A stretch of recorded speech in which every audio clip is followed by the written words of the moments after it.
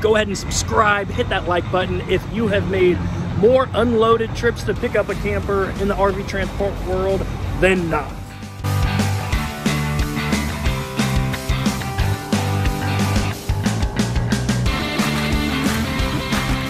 You know where I'm heading? Yeah, you'll see it back there. It's the only bumper we have back there. Okay, cool. So we are getting a repoed 34 foot bumper pull and taking it to Ohio. Somewhere back here.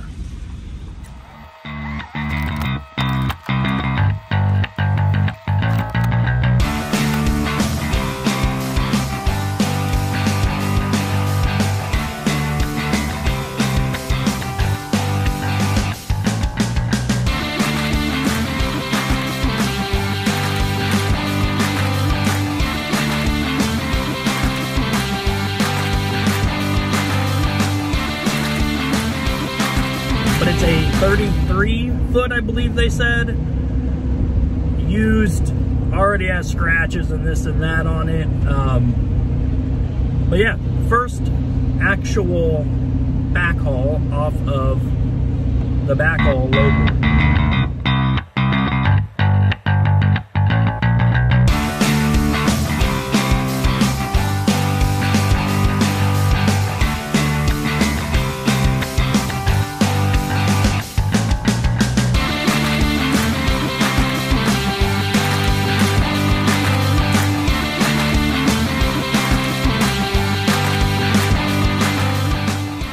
As you can see, we made the drop. I am in, you can see that, Salt Lake City, Utah.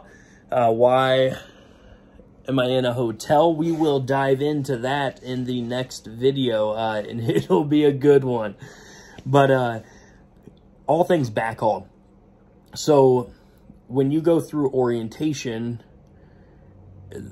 it kind of gets brushed off. Like if you're doing single pull, you know, hey, there's a backhaul board, but you can choose your own. The house takes, you know, the company takes 15% so that you can use all their authority, you know, be running under them.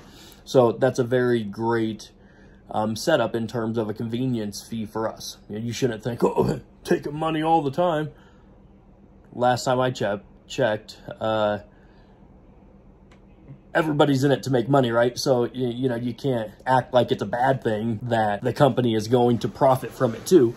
Um, but uh, what you don't realize until you're out there is, you know, finding the backhauls, uh, at least with the company I'm leased on with, it, it's somewhat impossible.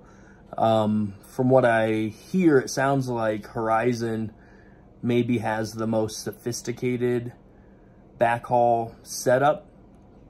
Um, but where you really get into always running loaded is the haul and tow, which is whether it be a semi or a, a truck that has, you know, like say on the truck, for example, you know, the back of it, it's a chassis setup and you can load up. It's like a trailer added on. So you can load up one unit right there and then you can tow a unit behind it. Uh, I've heard in different Facebook forums that that is the best way to go in terms of having uh, DOT inspections being a little more lenient than actually, you know, having the 53 foot trailer semi setup or whatever.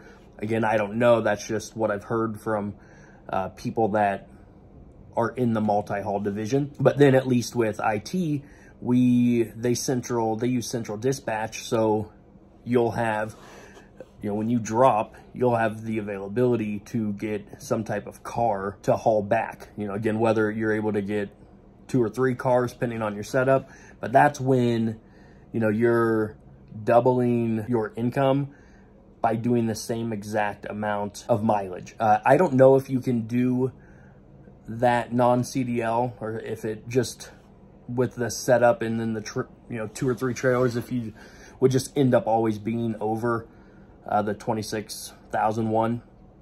Uh, if you know, comment below because uh, back in a first video I did, maybe the first or second one, uh, no, second or third one, I talked about, uh, you know, there's an idea that I have come springtime and it's about trying to get into the multi-haul division because again, if you're doing the same amount of traveling, but you increase your revenue, so, you know, you go from a buck 65, like heading out west right now, a buck 69 to over 250 a mile for the same route.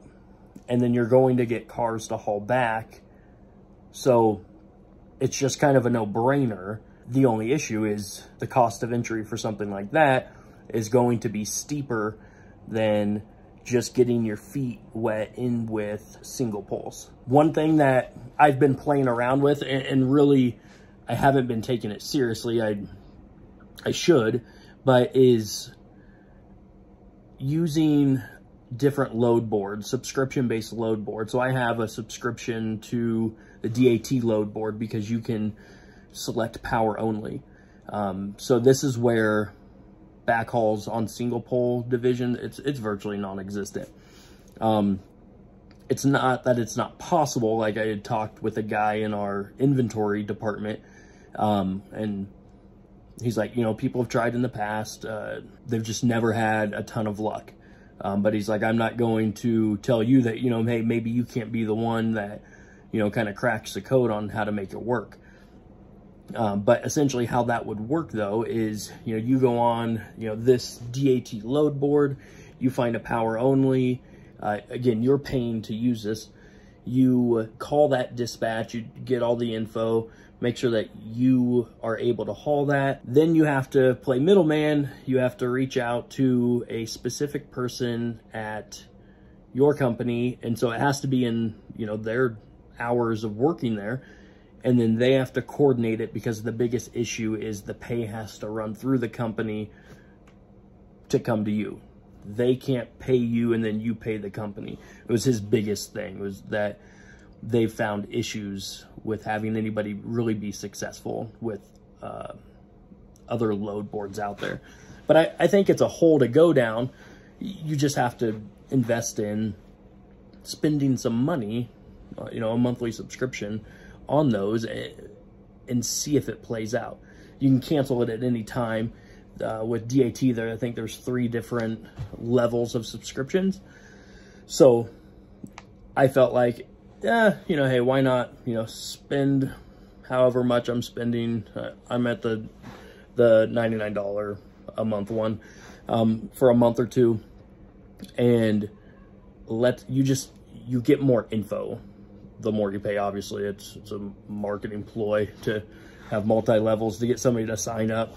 Um, but uh, you get more info on this as far as you can see what the average run rates were, you know, for those lanes that you're potentially picking a load from, uh, because you, you'll negotiate with whatever dispatch that you're talking to from the load board. And so, you know, if it pans out, again, it makes this endeavor that much more profitable. So um, that's all I got for you. Hey, if you have any tips, any things that you've tried and been successful with uh, on the backhaul side of things, or maybe you're somebody that's watching this that is in the multi-haul division. Um, again, I know myself, I am uh, extremely interested in that in more in a non-CDL capacity. I don't, I just don't think I want to mess with that. You know, so if you have any info on how all of that works, the logistics, uh, you know, the things that you would have done differently, hey, comment those below. Uh, and if you're just a single pull guy like myself, uh, you know, comment below a story of a backhaul experience, or maybe you're consistently getting backhauls. You know, let me know what you're doing if you don't care about sharing those secrets to help everybody, you know, make a little bit more money and be a little bit more profitable. But hey guys, that is it. I hope you enjoyed it. Again, stay tuned. You can see we are in Salt Lake City right now, and there is a great reason. I don't know if I'd say great, but there's a reason that we're in here. So stay tuned to the next video. We'll dive into that.